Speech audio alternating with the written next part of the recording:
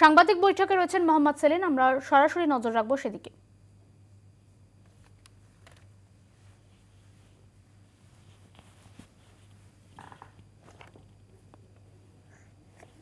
যেখানে যেরকম আইন অনুযায়ী, নিয়ম অনুযায়ী যে অবজেকশন আছে, যে কমপ্লেইন আছে, যে অভিযোগ আছে, সেগুলো তারা যেরকম জানাবেন, আমরাও সেন্ট্রালি এটা মনিটর করব।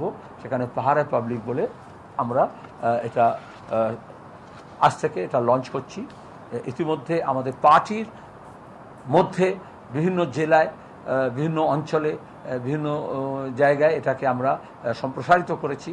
তারপর আমাদের মনে হলো, এখন যে এই নির্বাচনটা হচ্ছে শুধু পার্টির নয়, শুধু বাম ফ্রন্টের নয়, শুধু বাম মনোভাব মানুষের নয় বামপন্থী, তার সঙ্গে সহযোগী, এমনকি সাধারণ মানুষ, বিজেপি, তৃণমূল বিরোধী, গোটা রাজ্যের মানুষ, এই যে অবাধ, সুষ্ঠু, নিরপেক্ষ নির্বাচন চাইছেন যে যে বসে যে লড়াই করছেন, তাকে কুর্নিশ জানিয়ে আমরা সব মানুষের জন্য এটাকে ওপেন করছি।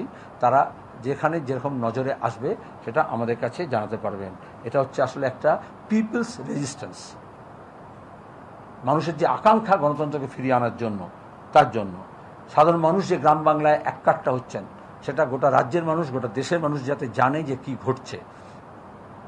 এটা মনোনয়ন থেকে যা হয়েছে এবং এখনও যা হয়েছে যে যা অভিযোগ করবে, সে সমস্ত তথ্য কিন্তু সম্পূর্ণ গোপন থাকবে। এমনকি নির্বাচন কমিশন যে অ্যাপ চালু করেছেন এবং যে দিচ্ছেন, আমরা সেখানেও ওখানে যারা পাঠাবে, আমাদের কাছে রিয়েল টাইম সে তথ্য আসবে যাতে আমরা মনিটর করতে পারি। নাহলে যেখানে মনোনয়নপত্র হাফিজ করে দেওয়া হচ্ছে, সেখানে এই অভিযোগগুলো অ্যাড্রেস হচ্ছে কি না সেটাও আমরা নজরদারি করব। এমনকি পুলিশ এবং সেন্ট্রাল ফোর্সের কাছে যে কমপ্লেন যাবে, সেগুলোকে। এটার জন্য আমরা একটা কিউআর কোড লঞ্চ করেছি। সেই কিউআর কোডে স্ক্যান করেই ফর্মটা পাওয়া যাবে। এটা অনেকটা ফর্ম্যাট আছে যাতে খুব সহজে, খুব দ্রুত বেশি লিখতে হবে না। কিছু বেসিক ইনফরমেশান আছে, সেগুলো দিয়ে দেওয়া হবে।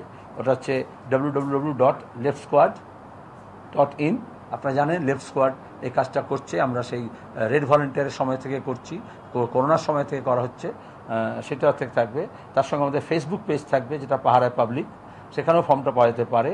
আর মোবাইলও এটা খুব মোবাইল ফ্রেন্ডলি করা হয়েছে কারণ সব জায়গায় তো কম্পিউটারের অ্যাক্সেস থাকবে না, যাতে যে যেখানে পাচ্ছে